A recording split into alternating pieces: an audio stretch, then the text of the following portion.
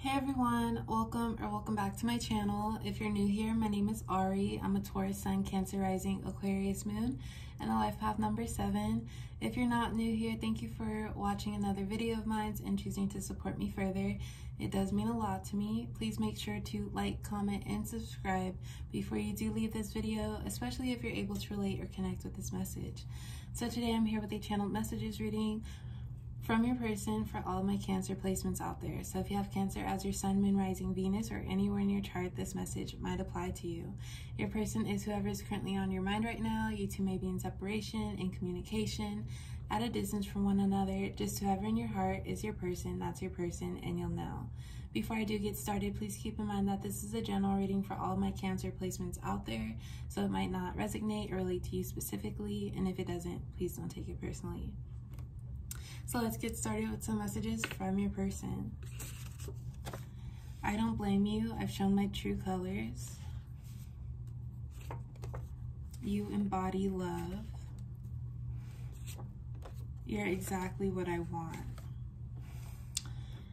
So, so far with these first three cards, I kind of feel like there's some sort of guilt that your person might be feeling and these energies can be reversed but from your person i feel like they haven't really shown you the best and they haven't treated you the best. Um i feel like they've taken advantage of your kindness of your love and they've done something to hurt you and of course like when someone hurts you like there's no justification towards that but in their head they know that you're a great person you embody love and like you're not you don't you don't deserve that. Um, but then we have you're exactly what i want. So i feel like your person might be taking what you have how you are like your energy and they're just kind of abusing your love. And like they notice what all they can get from you in terms of the feeling that you make them feel but they've shown their true colors. We have I don't blame blame you. I've shown my true colors. I feel like in a way they disrespected you by doing something that you just didn't deserve. And this could be for some of you maybe you could have been having like trying to have a calm conversation about something that you didn't see eye to eye with. Um, and then it was how they reacted was very uncalled for.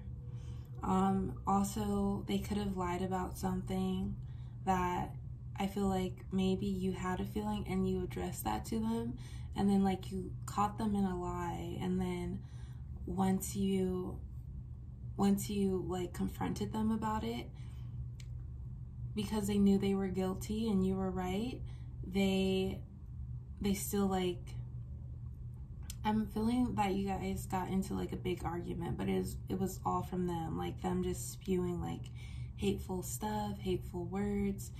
And then in return, you're like, okay, like this obviously isn't how to have a healthy form of communication. And the fact that you feel the need to get out of character while I'm just trying to talk something out, understand you better that's really showing me a different side of you. So I am getting the energy that they've been abusing what you give them as far as feelings and emotions. I have a lot going on. Absence makes the heart fonder. Don't shut me out. So yeah, I feel like your person is missing you right now and I feel like because of them showing you how they are and how they can get over something that might be solved through communicating, it really hurt you and like right now you're you're in your shell because you're not trying to be hurt. You hate that. Um, and we also have absence makes the heart fonder with that. I feel like because you've limited your communication or maybe shut off communication completely, they're really thinking about you and kind of they're feeling like, okay, I really missed out on this. And, but at the same time, I'm also feeling that this isn't the first time. Maybe this has happened more than once, and each time it gets more escalated and it just hurts you even more. Um, so I'm kind of getting that your person is missing you, but at the same time, if they've been trying to get back into your life or still communicate to you, I don't think that they've really learned their lesson, or maybe it's been a situation where you've taken them back multiple times and they know that they still have access to you in that way. So,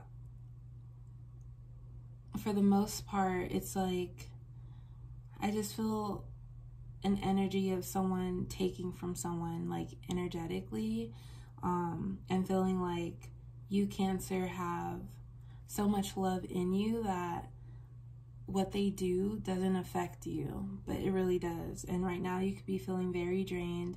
I feel like for some of you, you're in this emotional tough spot because whatever happened really hurt you and to work yourself out of it you know it can be done but depending on the history you have with this person it's like a feeling of sorrow like that feeling where your heart really hurts because you're missing someone but you know it's bad for you or you know that they're bad for you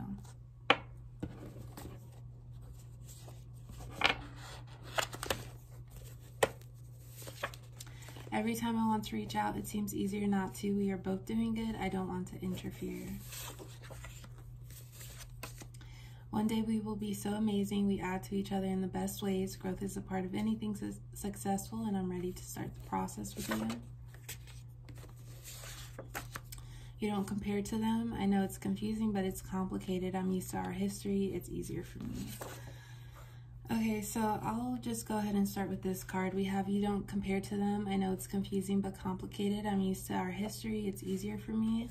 For some of you, I did mention in the beginning, it might be that they've been lying to you about something and you had a feeling that it was going on. And then when you confronted them about it, they just threw it in your face and kind of acted like it wasn't their fault when they clearly were lying to you. So you could be dealing with someone who is seeing other people. I have a lot going on that I feel like that card can be more towards they're not focused on making you a priority. So that's why they're not acting and like talking to you in the way that they should. Um, and right now, you two, I feel like you have shut them out and you have limited communication. We have every time I want to reach out, it seems easier not to. We are both doing good. I don't want to interfere. I feel like this is a person you might have some history with too. Um, so for you, Cancer, every time you think about letting them back in because you do miss them, um, it's like, okay, maybe it's best for me not to because of how I'm feeling right now, and you can't stand feeling how you're feeling. Um, and I feel like you know that time will make it better, but it's more like how much time because right now I'm going through a lot of hurt and it's kind of unbearable. So part of you is like, should I reach back out because that'll be a temporary fix to how I'm feeling right now? And then lastly, we have one day we will be so amazing. We add to each other in the best ways. Growth is a part of anything successful, and, and I'm ready to start the process with you. I feel like this is your person's energy. This could be something that they say to you to try to make things better, but I definitely feel like them knowing you is a huge addition benefit to their life. Um, they realize that you have so much going on for yourself, the person you are, you embody love, and I feel like they look at that and they see what you can do for them. Um, and they might have some feelings for you, true feelings, but it's not real love because they're not showing you that and they they don't communicate in the ways needed for that. So I feel like that card refers to what your person sees out of you that could that can benefit you. I feel like your person is more of like a person who takes a lot of your good energy to get them throughout the day. Um, and of course, this message message isn't for everyone. You're not everyone's person is like this, but for some of my cancers out there, that's just the energy that I'm getting. So yeah, I do hope you were all able to relate and connect with this message. Thank you all for watching. Please like, comment, and subscribe, and I will talk to you next time. Bye.